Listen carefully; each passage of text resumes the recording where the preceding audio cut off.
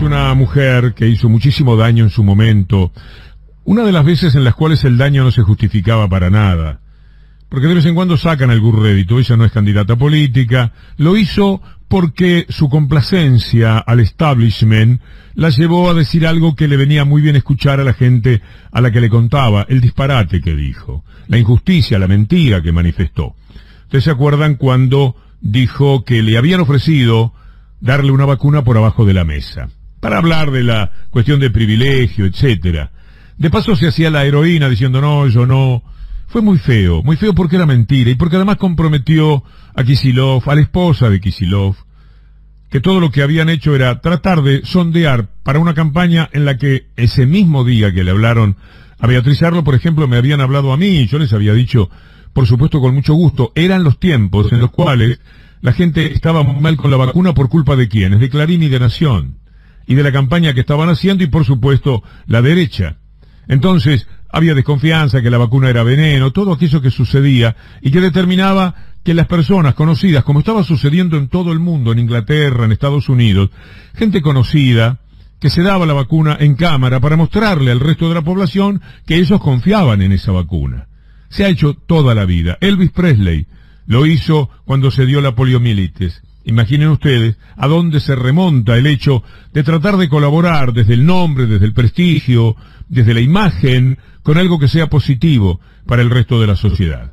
Eso era lo que le habían preguntado a Beatriz Arlo a través de quien dirige la editorial donde ella publica, que es la misma editorial donde publica la esposa de Axel Kisilov. Hizo un libro, pero todavía fue peor. Y ahí mostró un rasgo de su personalidad todavía más temible, Beatriz Arlo, cuando dijo, sí, pero igual eh, no era regular y, cualquier cosa dijo.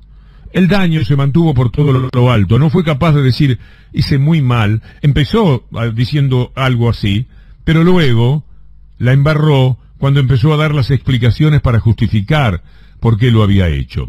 Ella sabe perfectamente para quiénes trabaja le paguen o no le paguen. En determinado momento era empleada de Mañeto en Radio Mitre, durante buen tiempo, y desde allí hizo muchísimo daño al gobierno progresista que estuvo hasta el 2015. De todas las maneras, lo petardeó, argumentó en contra de eso. Ella que es una mujer que procede de ideas, dicen, maoístas. Yo no he sido un lector de Beatriz Arlo, tomo lo que señalan otros, pero tuvo su, prestigio, su momento de prestigio como una luchadora mm, internacional, desde una cierta intelectualidad, para cambiar ese mundo ya hostil e injusto que vivimos desde el comienzo mismo de la humanidad.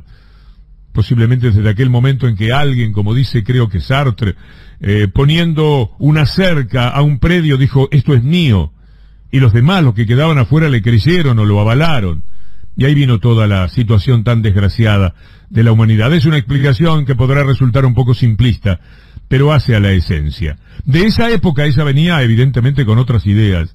Pero no importa, el establishment, a medida que pasan los años, se va devorando a las personas, empiezan a querer otro tipo de seguridad, de pertenencia, van desarrollando amistades dentro de lo que llamamos la derecha, y esa pertenencia es muy difícil de romper. Pero además estaba los años que trabajó para Mitre. Todo esto debía haber jugado para que ella no hiciera lo que hizo con algo vinculado a la vacuna, esa mentira que además comprometía a dos personas que tendrían que resultarle intocables a Beatriz Arlo. Ahora queda muy claro para quienes trabaja. Ella misma lo cuenta sin darse cuenta, como una anécdota. Está en una nota en el canal de Macri, en La Nación, Macri ha regado ese canal con miles de millones de pesos y están algunos muy satisfechos, naturalmente. Porque de eso se trata cuando uno eh, en esta profesión tan solo tiene el horizonte material, económico, que llegue Macri con todo ese dinero, la pucha. Es interesante. Y ahí estaba, en ese canal, La Nación Más, Sarlo, en una entrevista. Y esa cuenta algo que demuestra cómo se juega hoy día hoy día, por decir, en los últimos años en la República Argentina. La van a escuchar a Sarlo, préstenle atención, porque como habla medio cerradito, medio, hay que eh, agudizar un poco el oído. Ella va a contar que fue con todos los mails al juez que la citó para que declarase sobre la idea de que le habían querido dar la vacuna bajo cuerda. Miren qué disparate, qué vergüenza que hubiera un juez, un fiscal, alguien que la llamara para eso, que le habían ofrecido que le querían dar una vacuna. ¿Cuál hubiera sido el delito? Era un mamarracho todo.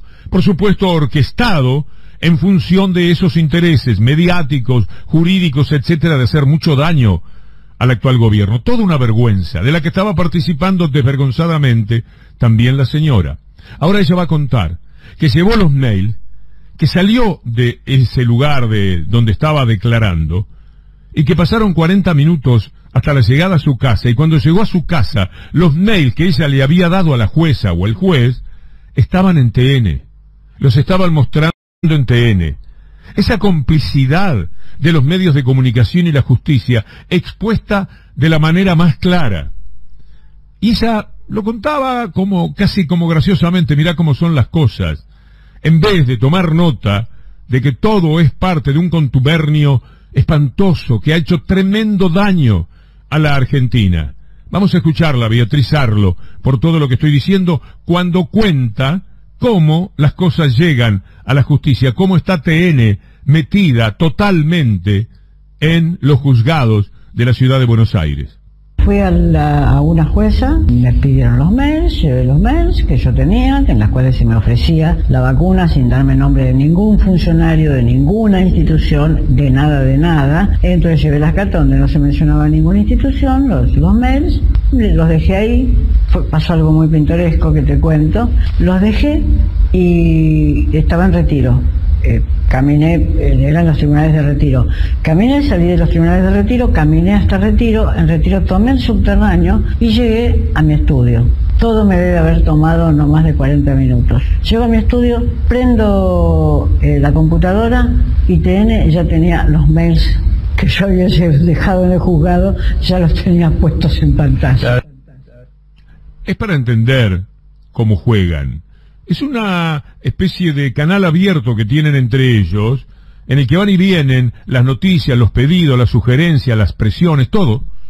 Así se vive en la Argentina. Lo cuenta Beatriz Arlo, lo cuenta casi inocentemente la señora, porque le llamó la atención, caramba, che, yo le acabo de dar los mails a la jueza, llego a mi casa y los veo por TN.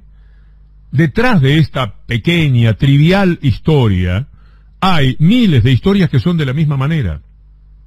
Hemos dado cuenta en más de una ocasión de cómo ciertos fallos de los jueces fueron escritos dentro de Clarín por los jueces y eso después trascendía. Así hemos vivido durante todos estos años. La cuestión jurídica y Clarín han sido exactamente lo mismo. No tienen reparos en llevar adelante maniobras que dejan a la justicia tan pero tan mal parada y que muestran cuál es el talante, cuál es la actitud, cuál es la mafiosidad, finalmente, de los medios de comunicación dominantes en la Argentina.